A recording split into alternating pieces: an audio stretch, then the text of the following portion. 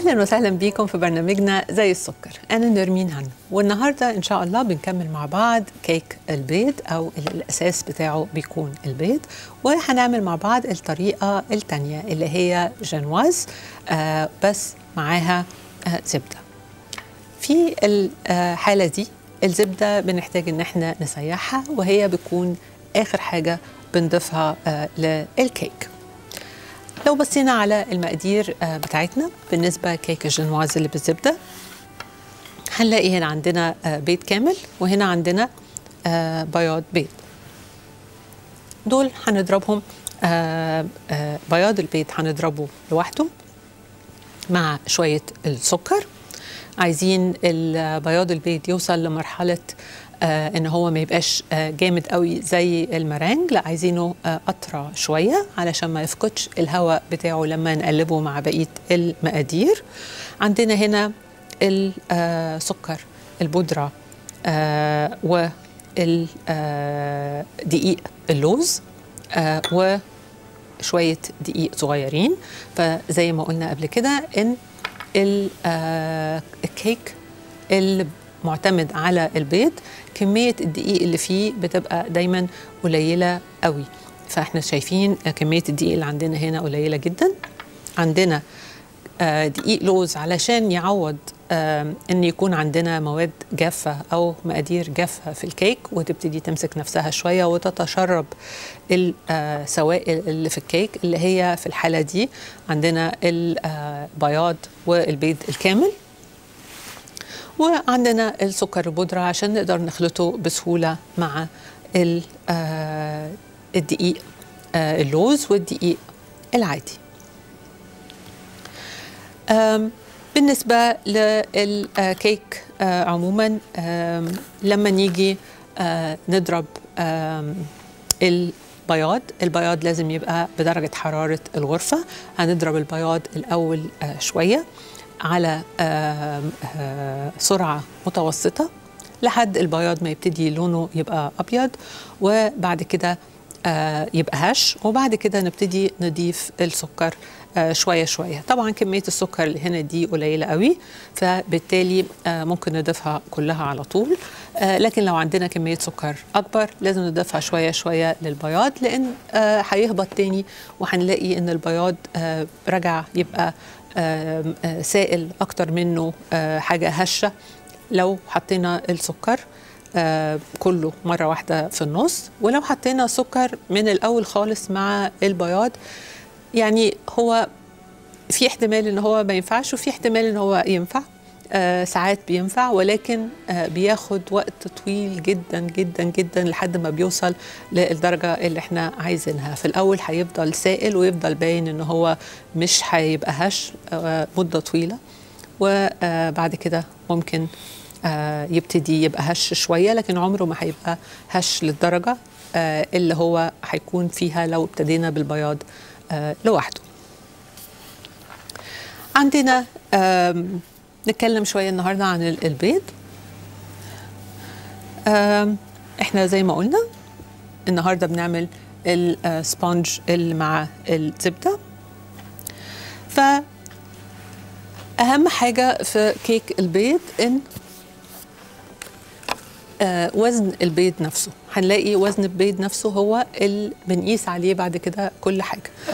آه الكيك اللي بالزبدة وزن الدقيق هو اللي بنقيس عليه آه كل حاجة.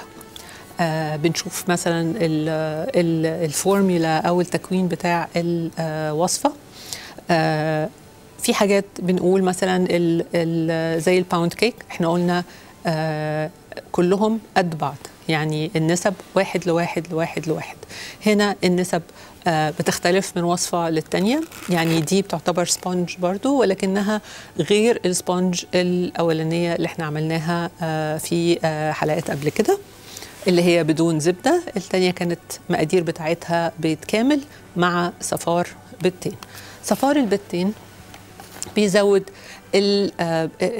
الكيكة تبقى أغنى يعني لما بنحط صفار البيض ولكن مش دايما صفار البيض هيفيد إن الكيكة تكون أحسن.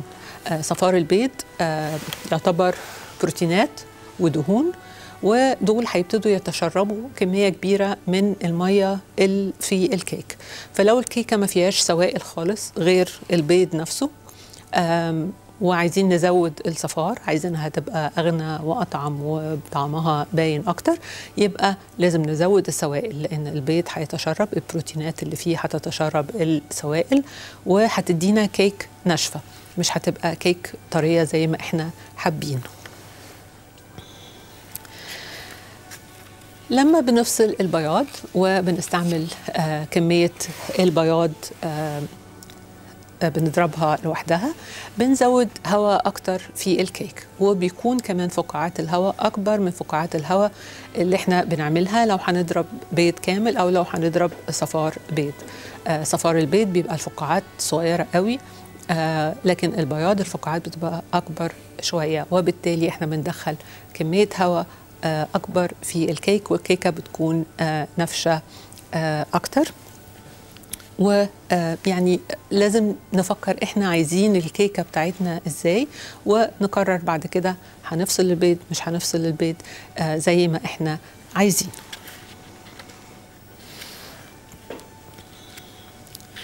بالنسبة للبيض آه يفضل علشان يبقى في أفضل حالاته إن هو طبعا يكون بيض طازة ويكون بيض بدرجة حرارة الغرفة. ما يبقاش ساقع من التلاجة. نطلعه قبل ما نبتدي نعمل الكيك بحوالي ساعتين عشان يوصل لدرجة حرارة الغرفة. هيدينا أحسن نتيجة وهيدينا هواء أكتر هيتقبل إن هو يتشبع بفقاعات الهواء آه أكتر. المهم كمان إن إحنا آه ما ما نحضرش البيض بالشكل ده. آه يعني نطلعه من القشرة بتاعته من بدري قوي. يعني لو هنطلعه من التلاجة ونسيبه ينزل لدرجة حرارة الغرفة نسيبه في البيضة نفسها. ما نكسرش البيض غير قبل ما نبتدي نعجن أو نخلط آه البيض مع السكر. ده هيدينا نتيجة أكتر آه أحسن وهواء أكتر في الخليط اللي إحنا بنعمله. نطلع فاصل وبعد كده نعمل مع بعض آه كيك السبونج اللي بالزبدة.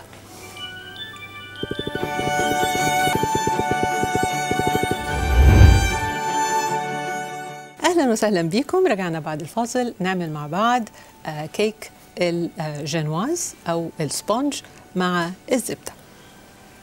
بالنسبة للمقادير عندنا آه 85 جرام دقيق لوز 75 جرام سكر بودرة 25 جرام دقيق كيك 120 جرام بيض 80 جرام بياض بيض 10 جرام سكر و30 جرام زبدة مذابة.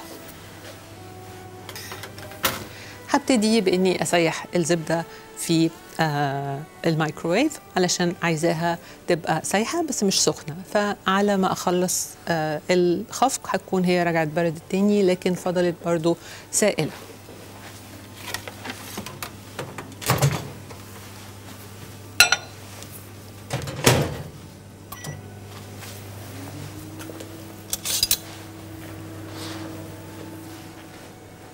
وبالنسبة للبيض وبياض البيض اللي عندي أنا هاخد الصفار.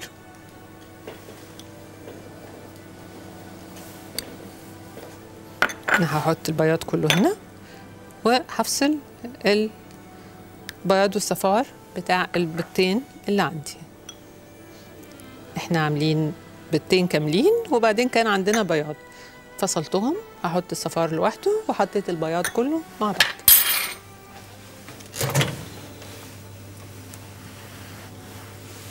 أوكي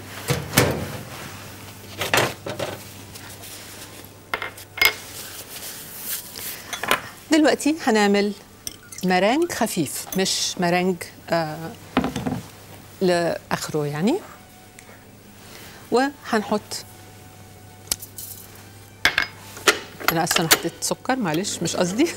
هنضرب البياض الأول بدون سكر ولما يبقى لونه أبيض وهش آه هنحط السكر ونكمل خفق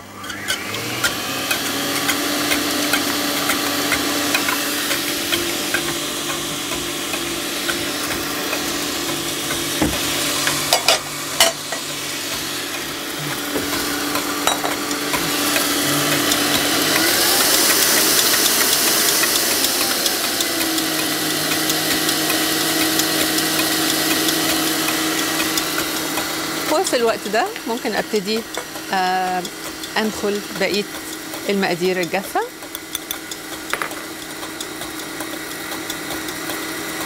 دقيق اللوز.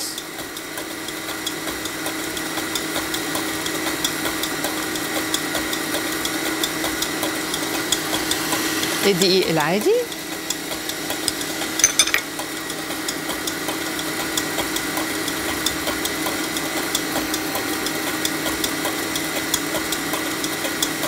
وسكر البودرة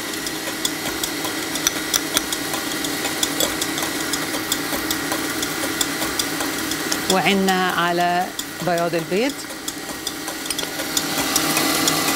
أوكي ابتدى آه يبقى هش ولونه أبيض قدامه دقيقة كده وبعدين أبتدي أحط السكر.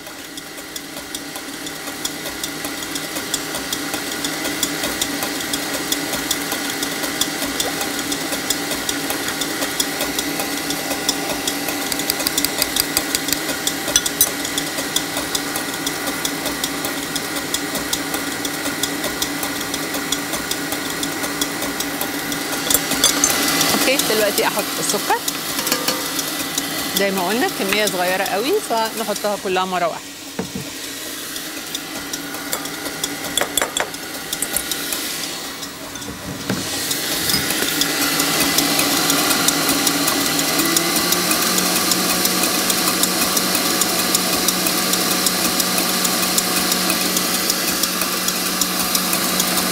دلوقتي المرانج أو البياض البيض مع سكر جاهز. هحط الصفار. مجرد بس يختلطوا مع بعض. okay. إحنا حطينا الصفار جوه و طالما إحنا خلاص عملنا بياض البيض زي المرانج ممكن نحط معاه الصفار وده مش هيخليه آه، يهبط.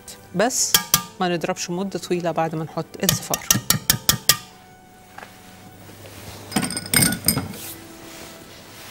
هاخد الخليط اللي آه عديته من المصفى عشان ياخد شوية هواء هحط شوية منه هنا تقريبا النص وأبتدي أخلط.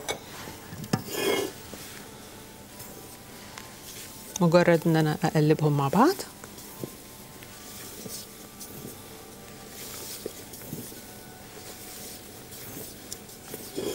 وبعدين نحط الباقي. وهنا طبعا فكرة إن إحنا نكون آه، خيوط آه، جلوتين تقريبا مستبعدة. أنا لسه الزبدة ما دابتش على الآخر. لأن اولا نسبة الدقيق كتير قوي آه، قليلة قوي. نسبة المواد الجافة مواد ما فيهاش جلوتين.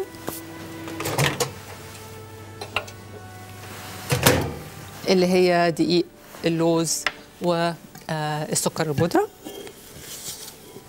وبعدين مدة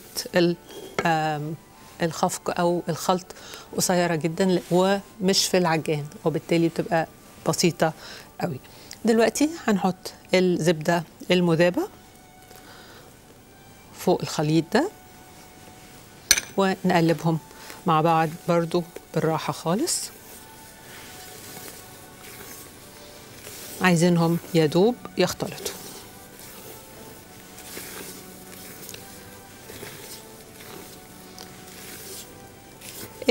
ال sponge ممكن نعمله يبقى آه، سميك شوية بحيث إن إحنا نقطعه آم، بسكينة إلى آه، طبقات أو شرائح آه، وممكن نعمل رفيع وتبقى هي already دي شريحة من الشرايح وده اللي هنعمله دلوقتي. طبعا هنكتر الكمية لو إحنا عايزين نحط مثلا ثلاثة أربعة فوق بعض يبقى هنضاعف الكمية دي ثلاث أو أربع مرات.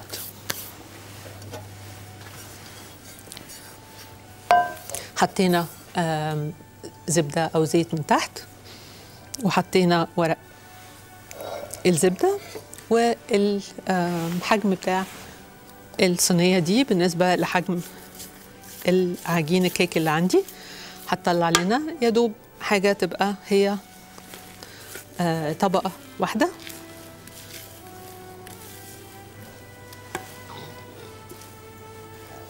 علشان بس نعرف إن إحنا ال... الكيك ممكن نعمله آه، سميك ونقطعه طبقات. بس لو إحنا آه، مش بنعرف نقطع طبقات تبقى متساوية ممكن نعمله في كذا صينية ويبقوا كلهم رفيعين وبعد كده بنحطهم فوق بعض. أفرد الخليط ده زي ما إحنا شايفين لو شايفين الفقاعات الهواء كلها باينة آه في الكيك اللي عملناها ب البياض زي ما إحنا شايفين وهي دي اللي هتخلي الكيك تطلع هشة وخفيفة آه وإن شاء الله تعجبكم بنفرد بالراحة خالص ما بنضغطش لتحت وإلا فقاعات الهواء هتفرقع.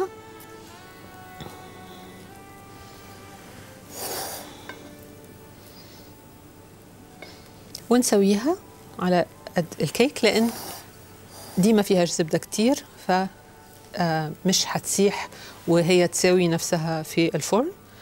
لا دي هتفضل بنفس الشكل اللي إحنا دخلناه بيها. كيك الزبدة هو اللي لو ما تسواش قوي من فوق مش مشكلة. لأن لما الكيك تدخل الفرن وتبتدي الزبدة تسيح الكيكة بتساوي نفسها في الصينية. فده بياخد شوية مجهود بس أكبر إن إحنا نسويها. وهندخلها الفرن. الفرن هيكون تقريبا على 180 أو 190 حتى لأن دي رفيعة قوي. وهتقعد في الفرن من 10 إلى 15 دقيقة.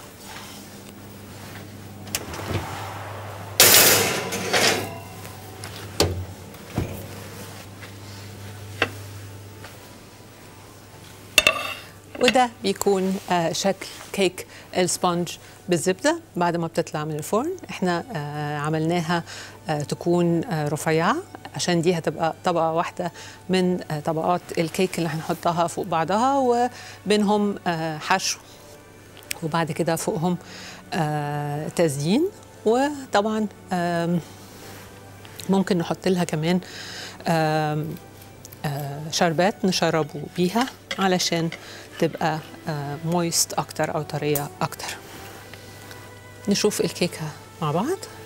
زي ما إحنا شايفين هي هشة خالص وطرية خالص بحيث إن إحنا دي يعني ال sponge cake زي ما هي مفروض تكون genoise مع الزبدة. وزي ما قلنا هنشربها بشربات يكون في النكهة اللي إحنا اخترناها وبعد كده نزينها. يا رب الوصفة تكون عجبتكم والطريقة تكون سهلة وأشوفكم في الحلقات الجاية. على خيرة الله إن شاء الله.